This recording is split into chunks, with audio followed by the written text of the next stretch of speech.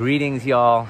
Ryland Englehart, co-founder of Kiss the Ground and also owner of Cafe Gratitude, uh, tuning in from my garden in Fillmore, California. You actually hear the rushing river. It's the Sespe Creek.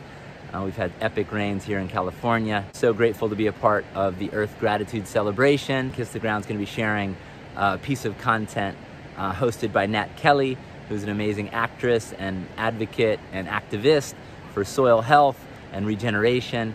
And really, it's about how you, as an individual, can love the earth by loving and supporting local and regenerative and organic farmers. Check out kisstheground.com for more ways to support the regeneration of our planet. And if there's one thing you do today, please sign our petition for regenerative agriculture, ensuring support in the 2023 Farm Bill.